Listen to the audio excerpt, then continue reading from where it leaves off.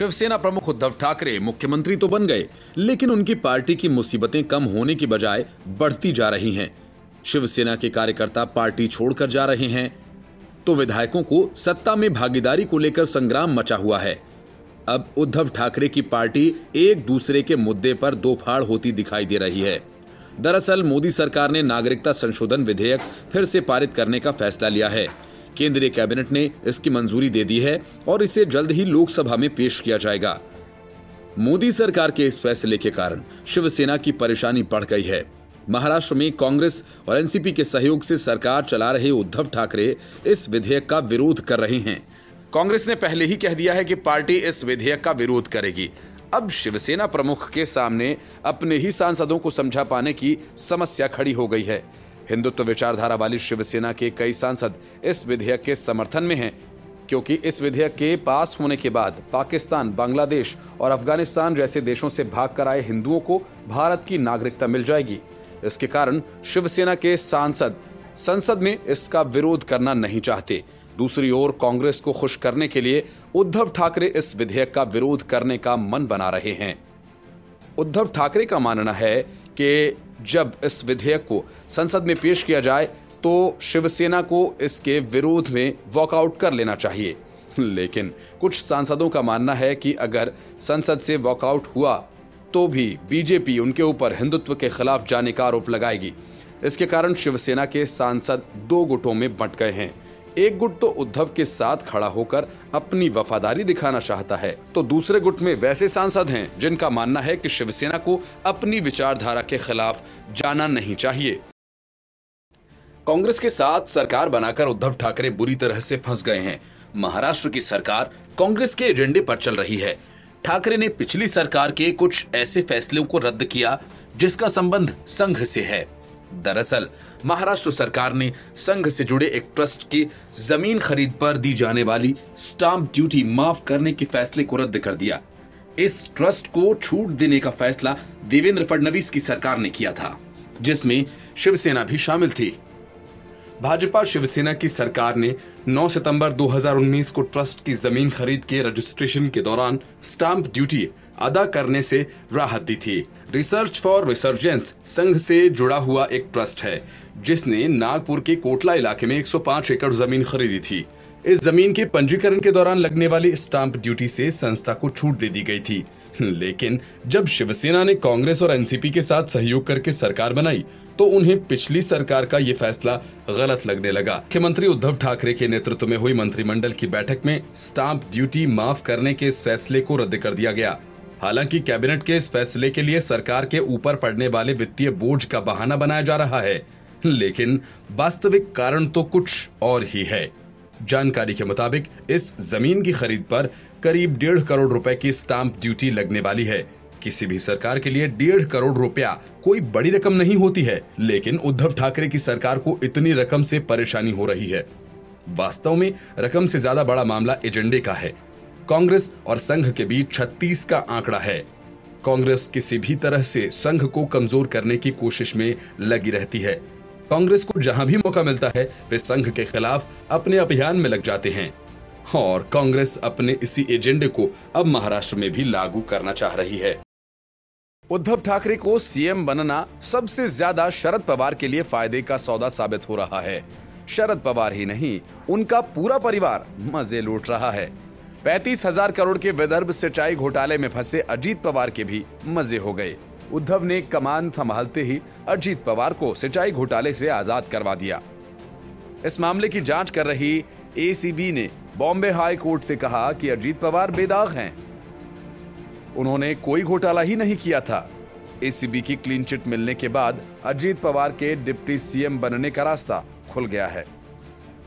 फडणवीस के साथ जाकर डिप्टी सीएम बनने के बाद कांग्रेस ने इस बात पर सवाल उठाया था कि हज़ारों करोड़ के घोटाले के आरोपी अजीत पवार को डिप्टी सीएम कैसे बनाया गया। तब तक अजीत पवार को किसी तरह की क्लीन चिट नहीं मिली थी। लेकिन अब इस सवाल पर कांग्रेस की बोलती बंद है। वजह ये कि उद्धव ने सारा खेल ही बदल दिया। अब अजीत पवार अचानक रातों रात ईमानदार हो गए। इतने ईमानदार कि उनका नाम लेकर उद्धव ठाकरे, शरद पवार और सोनिया गांधी ईमानदारी की कस्में खा सकते हैं। हाई कोर्ट में 27 नवंबर को हलफनामा पेश किया गया था। अदालत ने इस मामले में एसीबी को पूर्व जल संसाधन मंत्री अजीत पवार की भूमिका पर अपना पक्ष रखने को कहा था। अजीत पवार विदर्भ सिंचाई विकास निगम के अध्यक्ष भी रह चुके हैं। बीआईडीसी ने उन सिंचाई परियोजनाओं को मंजूरी दी थी, जिनमें अनियमितता का आरोप लगा था। महाराष्ट्र में कांग्रेस और एनसीपी के शासनकाल के दौरान पैंतीस हज़ार करोड़ के घोटाले का आरोप लगा था। और आरोप लगाने वालों में उद्धव ठाकरे भी थे। लेकिन वक्त बदला तो सब कुछ बदल गया। कल के घोटालेबाज आज ईमानदार साबित हो गए। पंजाब कांग्रेस में गुटबाजी तेज हो गई है। मुख्यमंत्री कैप्टन अमरिंदर सिंह को विपक्ष से ज़्यादा अपनी पार्टी के नेताओं से खतरा है। पहले नवजोत सिंह सिद्धू ने कैप्टन के खिलाफ आवाज़ उठाई और अब पंजाब कांग्रेस के पूर्व अध्यक्ष और राज्यसभा सांसद प्रताप सिंह बाजवा ने उनके ऊपर हमला किया। बाजवा ने कहा कि कैप्टन अमरिंदर सिंह ने पंजाब की जनता के साथ धोखा किया है। उन्होंने कैप्टन अमरिंदर सिंह के ऊपर हमला करते हुए कहा कि पंजाब में ड्रग्स एक बड़ी समस्या है और कैप्टन अमरिंदर सिंह ने सरकार बनने के एक सप्ताह के भीतर नशे के अवैध कारोबार को खत्म करने की बात कही थी।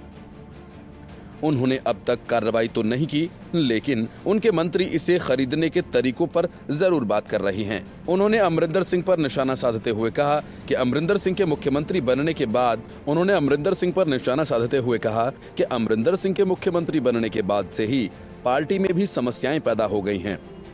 कांग्रेस के विधायक उनके ऊपर तानाशाही का आरोप लगा रहे हैं और पंजाब में मंत्री उनसे नाराज़ हैं। बाजवा का यह बयान ऐसे समय में आया जब आम आदमी पार्टी पंजाब कांग्रेस में फूट की बात कर रही है। पिछले दिनों पंजाब कांग्रेस के 40 विधायकों के नाराज़ होने की खबर आई थी।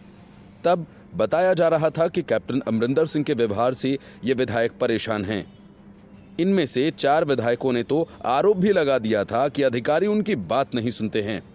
ऐसे समय में पंजाब कांग्रेस के पूर्व अध्यक्ष प्रताप सिंह बाजवा का सरकार के ऊपर हमला इस बात की ओर इशारा करता है कि कैप्टन की कुर्सी खतरे में है। पंजाब कांग्रेस के भीतर कभी भी बगावत हो सकती है। नवजोत सिंह सिद्धू पहले से ही मुख्यमंत्री अमरिंदर सिंह का विरोध कर रहे हैं और कैप्टन के खिलाफ एक गुट बनाए हुए हैं। अब बाजवा ने भी कैप्टन के खिलाफ बगावत का बिगुल फूंक दिया है। तो कांग्रेस के लिए राज्य में सरकार बचाना मुश्किल दिखाई पड़ रहा है। महाराष्ट्र में गठबंधन की सरकार है, लेकिन इस गठबंधन में कई पेंच फंसे हुए हैं। उद्धव की ताजपोशी शिवाजी पार्क में धूमधाम से हो गई, लेकिन अभी तक न डिप्टी सीएम का पता है और न ही ये साफ़ हो पाया है कि आखिर कितने लोग मंत्री और किसका क्या पोर्टफोलियो होगा। आलम यह है कि ठाकरे अपने बेटे और भांजे से ही मंत्रालय का काम चला रहे हैं। बीते दिनों अधिकारियों के साथ एक बैठक में उद्धव ठाकरे ने अपने भांजे को भेज दिया था। जिस पर काफ़ी बवाल हुआ था। दरअसल शिवसेना के साथ ही गठबंधन के सहयोगी कांग्रेस और एनसीपी के बीच विभागों के बंटवारे को लेकर जारी खींचतान को इसकी वजह बताया जा रहा है।